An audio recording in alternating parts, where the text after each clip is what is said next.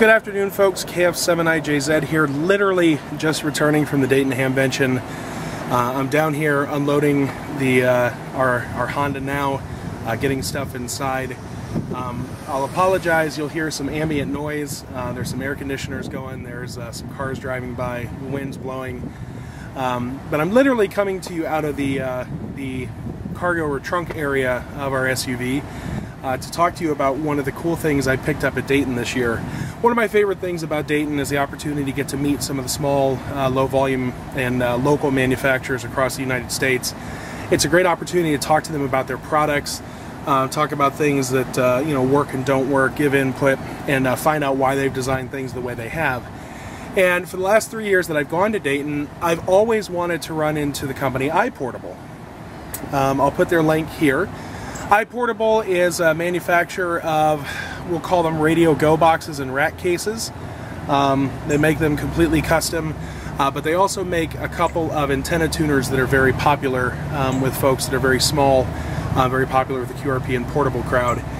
And uh, this year, uh, they had a booth inside, uh, just a couple spots over from the Magali booth, and I was really excited to literally accidentally bump into them because I've never found them before. And I found out the reason I've never found them before is because traditionally they, they set up in the, um, the flea market, which uh, to this day I still have never spent much time in because I really enjoy talking to the manufacturers. Uh, but what we have here today is the iPortable Pro Speaker Rack. Um, this is a ruggedized um, portable radio case that is uh, designed on a, a, half rack system. We'll, we'll, go through the case and show you what comes in it and everything. Um, but I've been very interested in this case now for a couple of years. I've never had an opportunity to get my hands on one. I've never been able to see one. I've never met anybody who has one.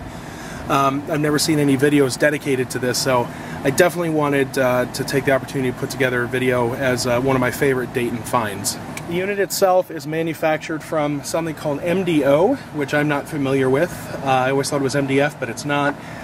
Um, and the manufacturer told me that's for uh, better weather resistance. It's something that sign makers use for things that are going to be outside.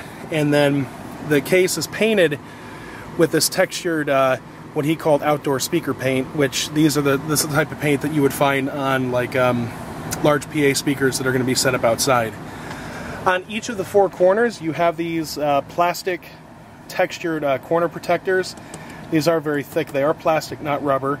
Um, and what's nice about these is that if you own multiple of these cases, they stack on top of each other pretty nice. And now, one of the things that has changed, because this case has gone through some revisions over the years, is um, I believe there used to be some type of a metal latch uh, that one would use uh, to open this, but they've gone away with that and they use Velcro now to hold the panel on, and then you just have these finger holes. I would have liked to have seen latching materials kind of like um, a gator case, but this, uh, he said, has proven to be more reliable. I just think it cuts down on the um, weatherproofness of the case overall. Um, also, these doors are not sealed, but we'll go into that in a minute. As far as physical specifications, like I said, this thing weighs uh, about seven pounds. We see that it is one foot wide, or I guess we'll call that deep. So 12 inches deep, by we're gonna I'm gonna round up to the nearest inch 18 inches wide and 9 inches tall. So 12 inches by 18 inches by 9 inches are the external dimensions. Now this case is more or less the same on every side. The only difference is on the external here there is um, one of these kind of self-collapsing handles that's on there pretty good for you to grab it and, and be able to move it relatively easily. One of the things that um, I've run into is that when you try to get your finger in here, and I have big meaty fingers, I immediately run into uh, this block he has in here, so it can make it a little more difficult. This side, um, actually not sure what I'm running into there. Oh, the rack rail. So getting the front on can be a little challenging. I may add something to make it easier to come off, but these just pull off and again, we've got Velcro stripping, which I think this is probably self-adhesive. Um, it's not coming up or bubbling at all. Inside the case, we take a moment to look here at the side section, here's the rail. There's this thickness, but it's clear to see that this is just, um, let's, if I, if I show you the top texture, you see how these kind of stick out. It's clear to see that the actual uh, cavity where stuff is mounted is this center section here. And when you look at this, you see the Velcro stripping, and then here's the rack rail, meaning this is mounted onto the edge of the center box, and these are lips um, that are added. And in fact, I don't know if you can see, but um, when you look in here, you can see this is there's um, kind of a ridge that gets added there. But uh, so if we look in here, the the case itself comes with some papers.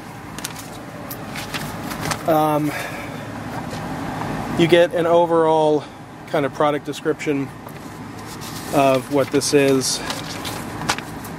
Um, he gives you another large diagram, and basically, this is just instructions saying if you're not planning on stacking multiple of these together, there's a feet, um, a rubber uh, foot kit included, which I'll show you here in a minute. And then finally, there is a mostly complete circuit diagram. And I say mostly complete because the USB power block is just a block. Finally, out of the case, we get some uh, rubber feet and the appropriate hardware. I asked the question about um, being able to drill through this material, and he said it would drill quite easily. Um, I asked about how the paint would hold up, and he said the paint won't flake or crack; that it'll it'll drill cleanly through. And here we are looking at the front of the case. Um, despite my comments about uh, you know not being perfectly waterproof, one thing I really do want to relay is this case is very professionally assembled. I mean, it, it really, I mean, it feels like a commercial product. I don't feel like this is cheap or something that put uh, something that somebody put together just in their backyard in their spare time. I mean, it really is uh, very high quality and sturdy. Um, if we take a look here, basically this is a rack. Um, there are holes in here. I don't know if that comes through, but those are meant to be able to run uh, screws down to attach your mobile uh, radio mounting brackets and whatnot to, obviously from both sides. It's height adjustable. Um, and then over here, and this is probably the neatest feature of this case, is uh, this is what the, makes it the Speaker Pro. Um, you have a 3 inch uh, speaker, headphone jack, the two USB charging ports that I again mentioned are half an amp each. Independent fuses uh, for two circuits uh, that are built into the box in the back. Um, an overall incoming power fuse, sorry, it's the green one, and then a fuse for your 12 volt cigarette lighter adapter, and then a set of power poles. And the power poles can be used either to get a tap off of a power supply connected in the back, or that can be the way you run power into the box. Um, if we do measurements real quick of the interior, and I'll do, I'll do from the rack. The rack is nine and a half inches. Um, well, actually, that's not quite true. I'm going to call that about 10 inches, um, assuming it's a little bit more than that, uh, just a little bit more than 10 inches wide for our interior height. That's going to give us right at 7 inches. Um, and then the overall interior width 16 inches from edge to edge. So again, you've got just a shade over 10 inches usable dimension that way and a shade over oh just yeah just 7 inches that way now I still have the back cover on if we measure the depth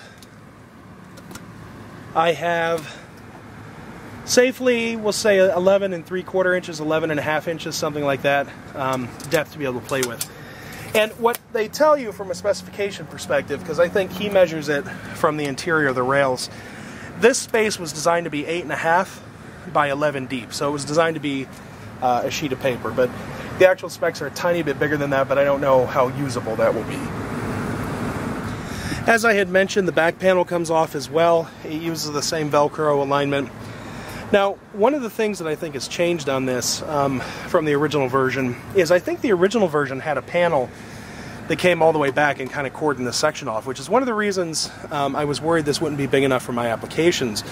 But as you can see, you actually have all this space sideways. So for larger radios like an ICOM 7100 or a Kenwood TS480, um, you actually can turn the RF deck sideways and have it fit like this, which was something that I had originally not conceived of. Um, give you an idea, safely, you've got about seven inches of space until you hit the back of the distribution block. And of course, your total width back here, about 14 and a half inches of usable space.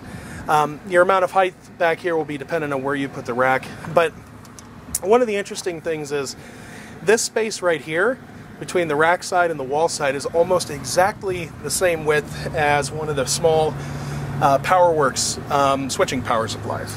Finally, back here you have three power leads and the audio lead. This is um, wired as a stereo connector, but based on the fact the cable is only two conductor, um, it's set up as mono, so I don't know why they chose to use a stereo. Uh, that may be something I replace.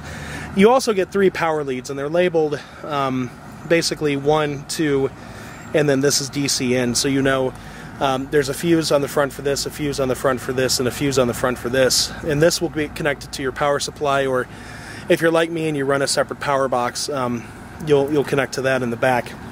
But it's nice to see uh, you've got the flexible wiring options. This is 12 gauge. Uh, each one of these runs is probably about 18, maybe 20 inches long, uh, so that's pretty good. Uh, but yeah, look for a video in the near future of me moving some type of radio equipment into here.